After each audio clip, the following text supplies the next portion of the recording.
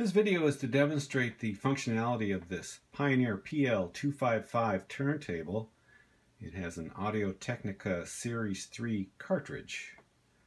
The desk cover does have some surface scratches, which is typical of these vintage turntables, but no cracks or chips.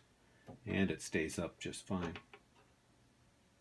Everything works great on it, including the strobe speed control light and the pitch control wheel.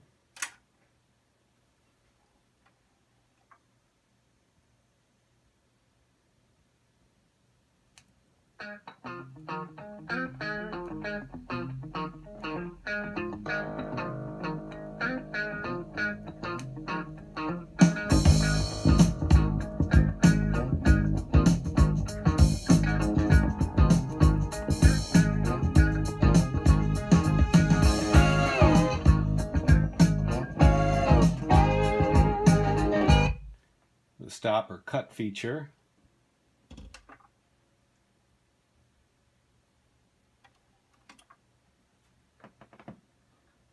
cueing mechanism works just fine, as does the auto return.